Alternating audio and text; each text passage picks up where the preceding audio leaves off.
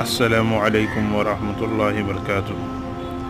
شبہات کا ازالہ پیج کو سبسکرائب کریں اور بیل آئیکن دبائیں سب سے پہلے ویڈیو دیکھنے کے لیے۔ السلام علیکم ورحمۃ اللہ وبرکاتہ۔ قسط نمبر سات سو بائیس۔ شیخ الاسلام مولانا سید حسین احمد مدنی نور اللہ مرقدہ کی سوانح و دینی خدمات۔ مدنی غرانی کی قیادت، مدنی گھرانی کی قیادت عامہ اور حب الوطنی۔ مالٹا کی قید و بند دعوتی کام کی سرپرستی۔ دعوتی کام اور اس کا اسلوب۔ الحمد للہ وحدہ، والصلاة والسلام علی من لا نبی بعدہ، اما بعد۔ حضرت مدنی کی ولادت۔ انیس شوال، بارہ سو چھیانوے ہجری مطابق اٹھارہ سو اناسی عیسوی۔ بمقام بانگر میو ضلع اناؤ اتر پردیش، ہندوستان میں ہوئی۔ خاندان۔ حسین احمد بن سید حبیب اللہ، بن سید پیر علی، بن سید جہانگیر بخش، بن شاہ انور اشرف، بن شاہ مدن الا شاہ نور الحق۔ آپ کے بھائی بہنیں، حضرت سید حسین احمد مدنی رحمہ اللہ کے چار بھائی تھے۔ نمبر ایک سید محمد، نمبر دو سید احمد، نمبر تین سید جمیل احمد، نمبر چار سید محمود۔ بھائیوں میں آپ درمیانے تھے۔ آپ کی تین بہنیں تھیں، سیدہ سیدہ زینب چار برس کی عمر میں فوت ہو گئی۔ نمبر دو، سیدنا نسیم زہرہ ڈیڑھ سال کی عمر میں فوت ہو گئی۔ نمبر تین، سیدہ ریاض فاطمہ چوبیس سال کی عمر میں مدینہ منورہ میں انتقال ہوا۔ حضرت مدنی کا سلسلہ نصب حضرت علی کرم اللہ وجہ تک پہنچتا ہے۔ ابتدائی تعلیم۔ آپ کے والد اسکول ہیڈ ماسٹر تھے۔ جب آپ کی عمر تین سال کو پہنچی تو والد کی تبدیلی قصبہ ٹانڈا میں ہو گئی۔ آپ نے ابتدائی تعلیم یہاں حاصل کی۔ قائدہ بغدادی اور پانچویں سپارے تک والدہ سے، پھر پانچ سے اخیر تک والد سے ناظر قرآن پڑھا۔ عصری بنیادی نصابی کتب۔ آمد نامہ دستور الصبیان، غلستان کا کچھ حصہ مکان پر اور اسکول میں دوم درجے تک پڑھا۔ جغرافیہ، عمومی و خصوصی، تاریخ عمومی و خصوصی وغیرہ، ہر ہر چیز آٹھ سال کی عمر تک بخوبی یاد ہو گئی تھی۔ دارالعلوم دیوبند میں داخلہ۔ تیرہ سال کی عمر میں والد صاحب نے تیرہ سو نو ہجری میں دارالعلوم دیوبند بھیج دیا۔ دو بھائی پہلے سے وہی مقیم تھے، چنانچہ انہی کے زیر سائے بھائیوں کے کمرے میں رہنے لگے۔ یہ کمرہ مولانا محمود الحسن کے مکان کے بالکل قریب واقع تھا۔ یہاں پہنچنے کے بعد غلستان اور میزان شروع کی۔ بڑے بھائی صاحب نے محمود الحسن سے ابتدا کی درخواست کی۔ چنانچہ مجمع میں انہوں نے مولانا خلیل احمد سے فرمایا، آپ شروع کرا دیں۔ انہوں نے ابتدا کروا دی، پھر بھائی سے میزان منشعب پڑی۔ بحوالہ شیخ الاسلام مولانا سید حسین احمد مدنی رحمہ اللہ کی زبانی۔ دیوبند پہنچنے کے بعد وہ معمولی سی کھیل کود کی آزادی جو کہ مکان پر تھی وہ بھی جاتی رہیں دونوں بھائی صاحبان بالخصوص بڑے بھائی صاحب سب سے زیادہ سخت تھے۔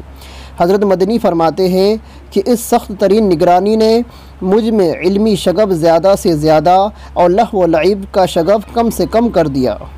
مولانا محمود الحسن صاحب دارالعلوم دیوبند کے پہلے شاگرد اور مولانا قاسم صاحب ناتوی سے آپ نے علم حدیث حاصل کیا۔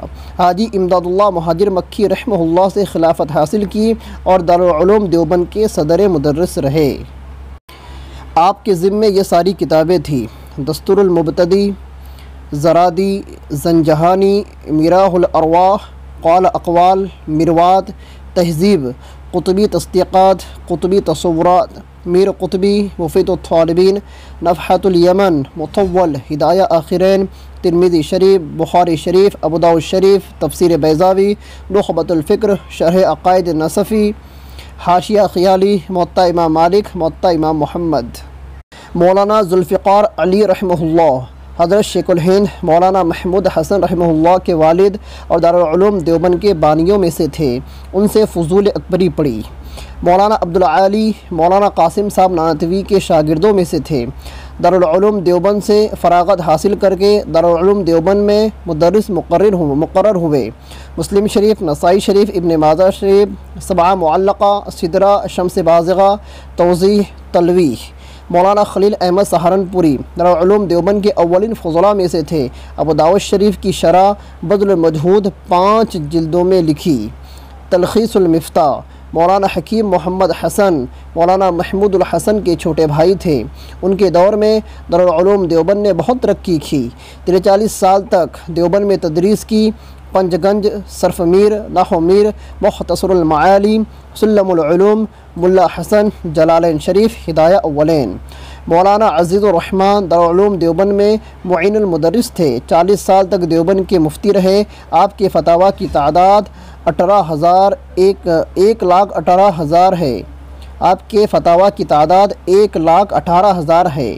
شر جامی کافیہ، ہدایہ اول ہدایت الاول منیت المصلی، کنز الدقائق، شرح وقایہ، شرح میت عامل، اصول الشاشی، مولانا غلام رسول بفوی، علوم عقلیہ و نقلیہ کے حافظ، بارہ سو اسی میں دارالعلوم دیوبند میں مدرس مقرر ہوئے۔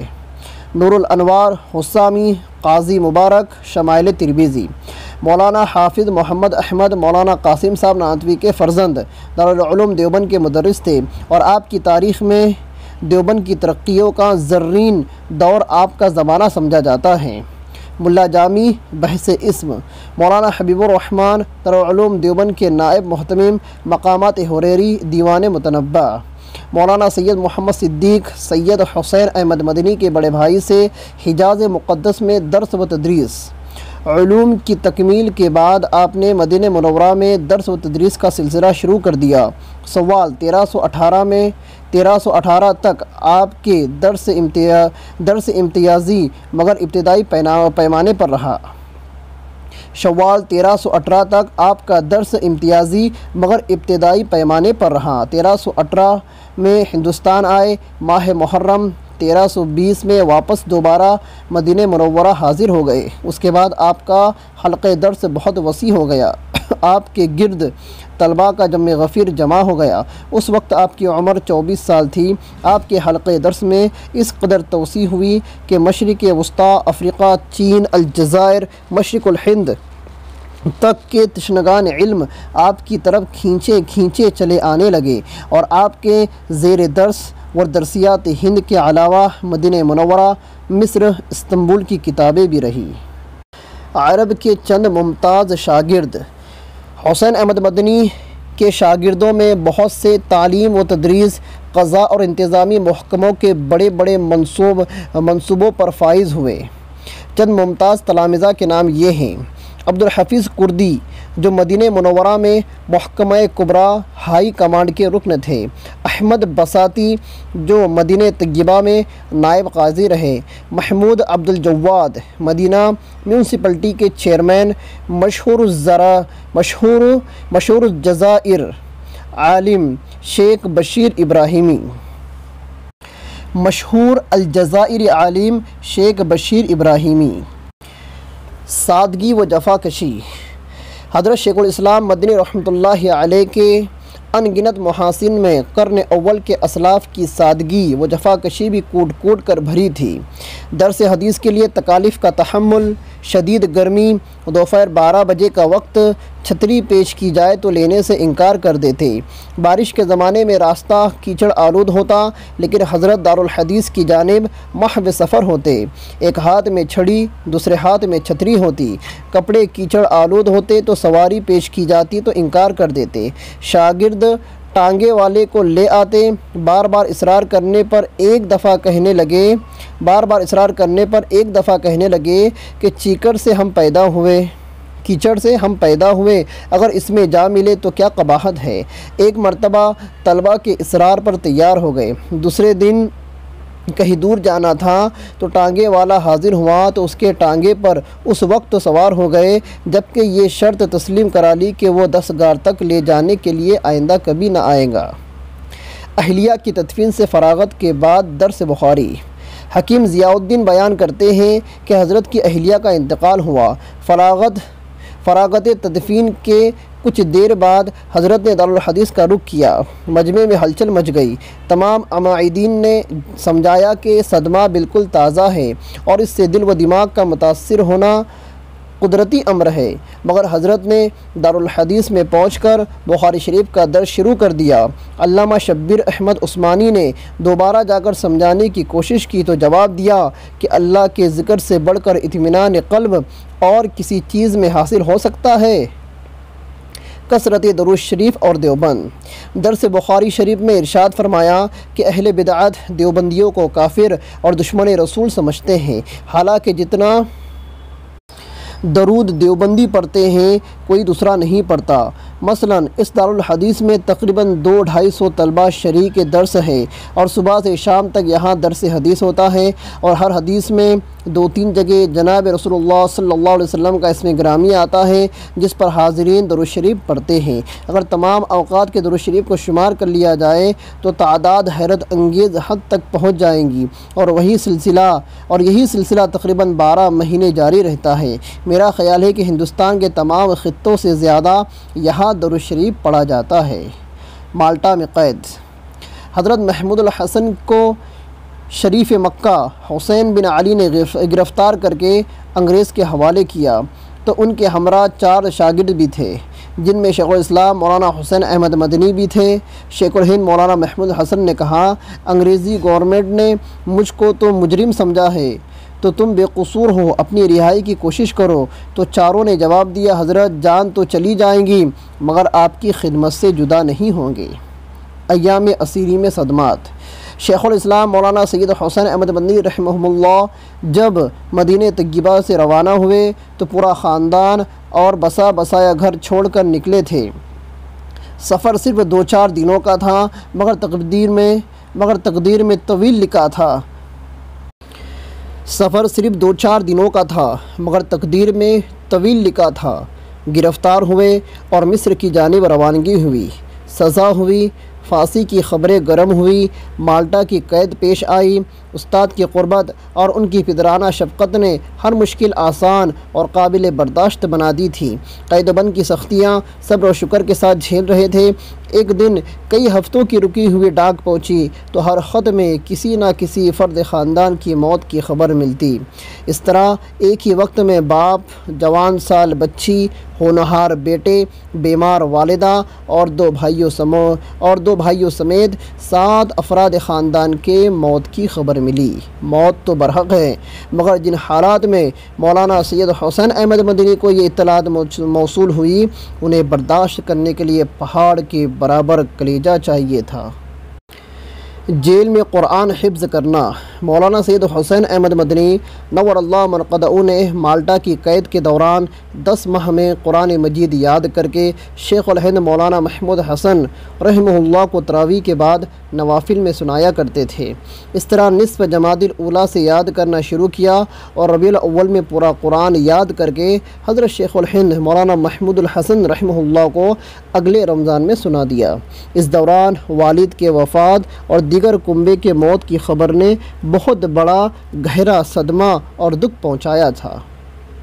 جیل سے ریائی جنگ عظیم ختم ہونے کے بعد ٹوٹل ساڑھے تین سال جیل کی صعوبتیں برداشت کرنے کے بعد حضرت شیخ الہند اور ان کے تمام ساتھیوں کو جن میں شیخ الاسلام، مولانا سید حسین احمد مدنی بھی شامل تھے آخر کار رہائی مل گئی۔ جب گھر سے چلے تو سب کچھ ٹھیک ٹھاک چھوڑ کر گئے تھے، مگر رہائی کے بعد جب اپنی علاقے پہنچے تو سب کچھ بدلا ہوا تھا۔ خاندان کے افراد کی اموات اور اس وقت حضرت مدنی کی عمر بمشکل چالیس بیالیس برس رہی ہوں گی اور صدمے پر صدمہ اٹھائے جانا اور اس حال میں کہ تو نہ خاندان کا تھا نہ گھر۔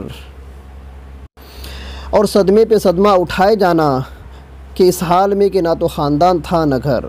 سیرت و اخلاق۔ ڈاکٹر عبد الرحمن شاہجہاں پوری فرماتے ہیں کہ علم و عمل کی دنیا میں عظیم الشان شخصیات کے ناموں کے ساتھ مختلف خسائل و کمالات کی تصویریں ذہن کے پردے پر نمایاں ہوتی ہیں۔ لیکن شیخ الہند مولانا محمود الحسن رحمہ اللہ، مولانا سید حسین احمد مدنی قطع اللہ وسلم کا نام زبان پر آتا ہے تو ایک کامل درجے کی اسلامی زندگی اپنے ذہن و فکر، علم اور اخلاق امت مسلمہ کی قیادت و سیادت کے افکار، سیرت کے تمام خصائل و کمالات محاسن و محامد کے ساتھ تصویر میں ابھرتی ہوئی اور ذہن کے پردوں پر نقش ہو جاتی ہیں۔ اگر مجھ سے کوئی پوچھے کہ اسلامی زندگی کیا ہوتی ہے، تو میں پورے یقین اور قلب کے اطمینان کے ساتھ عرض کر سکتا رہوں گا کہ حسین احمد مدنی کی زندگی کو دیکھ لیجیے۔ اگرچہ یہ ایک قطعی اور آخری جواب ہے۔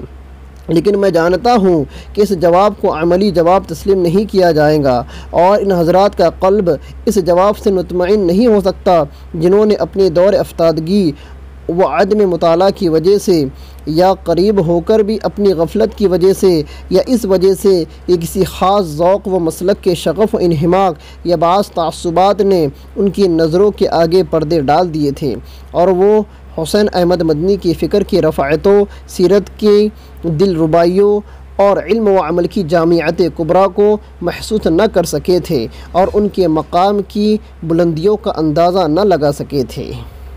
یتیموں کی سرپرستی اور صلہ رحمی۔ مولانا فرید الوحدی، مولانا فرید الوحیدی علیہ رحمہ خود راوی ہیں۔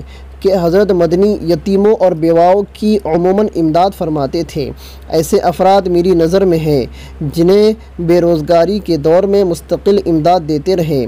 ان میں مسلم اور غیر مسلم کی قید نہ تھی۔ جو لوگ مفلوق الحال ہوتے، ان کی امداد باضابطہ طور پر فرماتے۔ عید کے مواقع پر اگر آبائی وطن ہوتے تو خود رشتہ داروں کے یہاں عید سے پہلے جاتے اور عیدی تقسیم فرماتے اور مولانا مدنی اپنے یتیم بھتیجے کی شادی کے لیے پچیس ہزار روپیے جیب کی مالیت سے عالی شان گھر تعمیر کروایا۔ بھتیجے کی وفات کے بعد ان کی اولاد کا کہنا ہے کہ حضرت مدنی کی گرفتاری و قید تک ہمیں احساس بھی نہ ہونے دیا کہ ہم یتیم ہیں۔ غرض یہ کہ اس دور نفسی نفسی میں حقیقی پوتوں کے ساتھ بھی اس طرح کی پرخلو، شفقت و محبت دیکھنے میں نہیں ملتی۔ لیکن بھتیجے اور اس کی اولاد کے ساتھ غیر معمولی شفقت و محبت کے برتاؤ کی مثال تو عدیم المثل ہے۔ مستحقین کی خبر گیری مولانا نجم الدین اصلاحی رحمۃ اللہ علیہ تحریر کرتے ہیں کہ حضرت مدنی رحمہ اللہ جب تک زندہ رہے، سخاوت کا دریا بہتا رہا اور فیاضی کا سمندر معجزر رہا، حضرت کا محبوب مشکلہ ہی یہی تھا کہ دولت کو اللہ کے راستے میں لٹاتے جائے اور نادار لوگوں کی ضرورت پوری کی جائے۔ طلباء کی ایک جماعت ایسی تھی جس کی آپ مدد کیا کرتے تھے۔ میرے ہی کمرے میں ایک صاحب رہتے تھے جنہیں اصولاً مدرسے سے کھانا نہیں ملتا تھا۔ میں نے ایک دن پوچھ لیا تاکہ حضرت مدنی انتظام فرما دے۔ ایک مرتبہ حضرت کی خدمت میں حاضر تھا۔ دیگر حاضرین کی کافی تعداد تھی۔ عرضیہ پیش کی جا رہی تھی۔ ایک طالب علم کی عرضی کو غور سے پڑھا۔ پھر اس کے بعد دریافت کیا کہ تمہارے گھر تک سفر کا کرایہ کتنا ہے۔ اس نے کہا، پندرہ روپیے۔ پوچھا، تمہارے پاس کتنے پیسے ہیں؟ یا بالکل نہیں ہیں۔ اس نے جواب دیا، سات روپیے ہیں۔ پھر حضرت پھر حضرت نے جیب سے اسے آٹھ روپیہ عنایت کیے۔ بعد میں معلوم ہوا کہ سال بھر میں ایسے واقعات پیش آتے رہتے ہیں۔ میرے گھر کی بات کسی سے نہ کہنا۔ مولانا عبدالحق مدنی رحمۃ اللہ علیہ کا بیان ہے کہ مدینہ منورہ والے مولانا سید حسین احمد مدنی رحمہ اللہ کی اتنی عزت کرتے تھے کہ دوسرے کسی عالم کو یہ امتیاز حاصل نہ تھا۔ لیکن حضرت مدنی رمضان شریف میں روزے پر روزہ رکھتے اور کسی کو خبر نہ ہوتی۔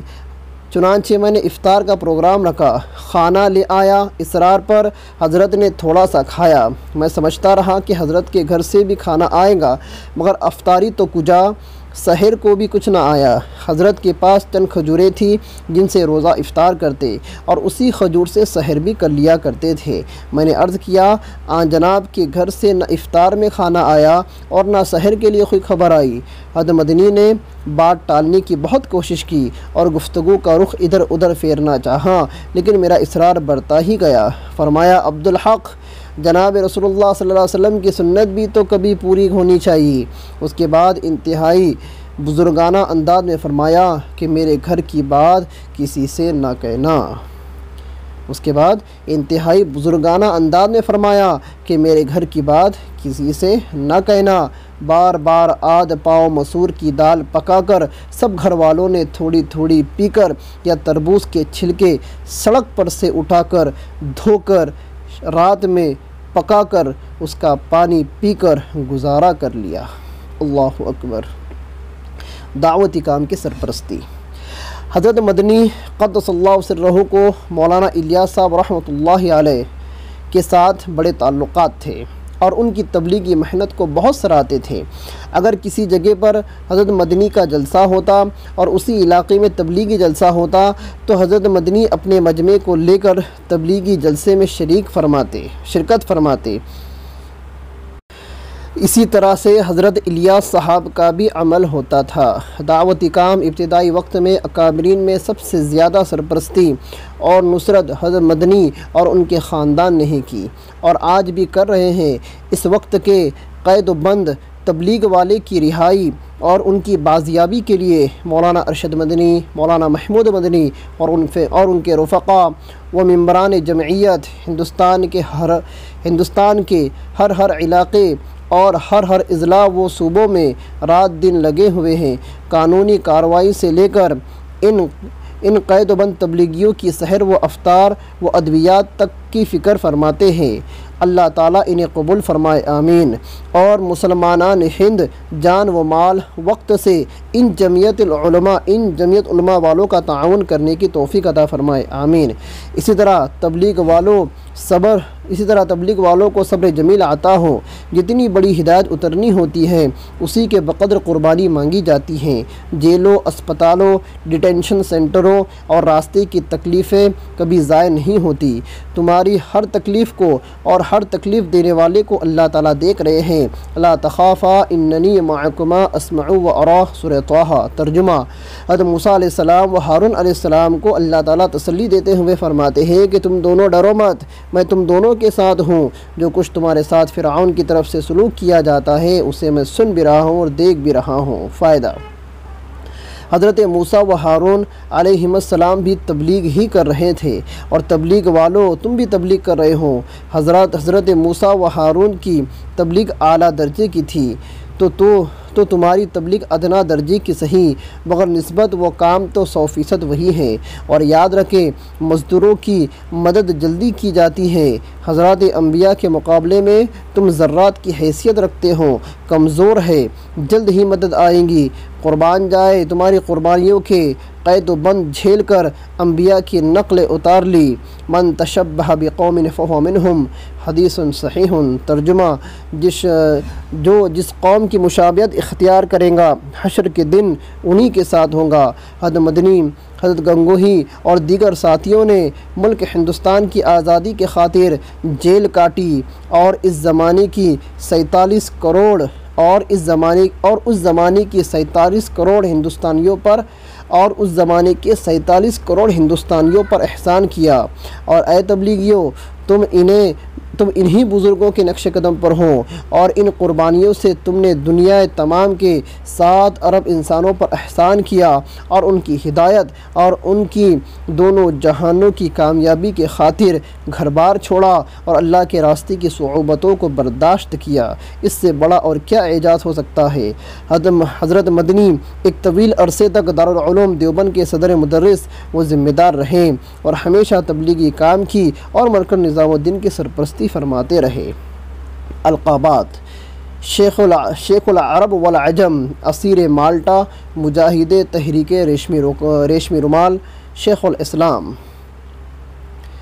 حضرت مدنی کے یہ القاب ہے شیخ العرب والعجم، اسیر مالٹا، مجاہد تحریک ریشمی رومال، شیخ الاسلام۔ مجاہد تحریک مجاہد تحریک ریشمی رومال، شیخ الاسلام۔ وفات۔ تیرہ جماعت الاولیٰ بمطابق پانچ دسمبر انیس سو ستاون بروز جمعرات بوقت دوپہر بمقام دیوبند انڈیا میں ان کا انتقال ہوا۔ مشال راہ۔ ہمارے اکابرین ہمارے لیے مشال راہ ہے۔ حضرت مدنی و سارے اکابرین عالمی قیادت کی فکر رکھتے تھے۔